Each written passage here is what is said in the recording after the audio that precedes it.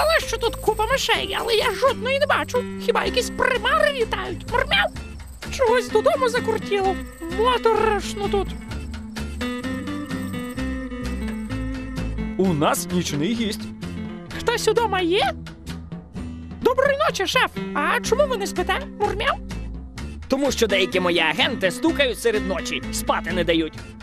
Я просто ходив ловити мишей, що крадуть сосиски з мого м'ясокомбінату. Ви казали, що на галявині їх дуже багато, але я жодної не бачив. Тільки у повітрі якісь тіні літали. Мурмяв! Здається, королівство темних казок наслало до нас своїх шпигунів. Потрібно щось робити. Я говорив про летючих мишей. Це тварини, а не шпигуни. Миші вже літають, їм видали парашути. Мурмяв! Ні, просто звичайні миші і летючі миші це зовсім різні речі. Летючі миші по родинних зв'язках набагато ближчі до приматів, ніж до гризунів. Бачу, тобі потрібно розповісти про це детальніше. Камеро, запускай досьє. Оскільки летючих мишей або по-іншому рукокрилих нараховують більше тисячі видів, розповім вам про цю групу тварин у загальному.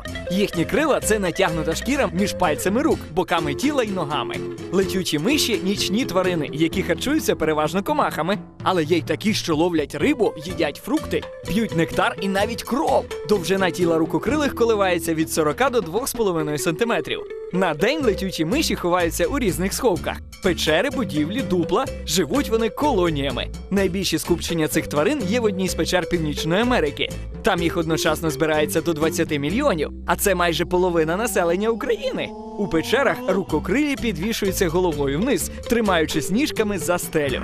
Якось науковці підмітили, що у закритій зовсім темній кімнаті сови не можуть літати, бо натрапляють на стіни, тоді як рукокрилі спокійно там літають, маневруючи у польоті між різними предметами. Виявляється, що у них унікальний метод орієнтації в просторі ехолокація. Ці тваринки видають ультразвуки, нечутні для вуха людини. Ці звуки відбиваються луною від навколишніх предметів і сприймаються величезними вухами летючих мишей. За звуковим відображенням звірки наче бачать навколишнє. На зиму багато летючих мишей впадає у сплячку. Тоді процеси в їхньому організмі дуже сповільнюються. Якщо їхнє серце влітку робить за хвилину до 420 скорочень, то під час сплячки лише 6-7. Мяу, зрозуміло. І ще, якщо існують летючі миші, то повинні існувати е, летючі коти. Ні, але існують летючі собаки лисиці. Але про це якось іншим разом. А зараз я збираюсь впасти у сплячку. Вірніше, просто поспати. Усім до побачення.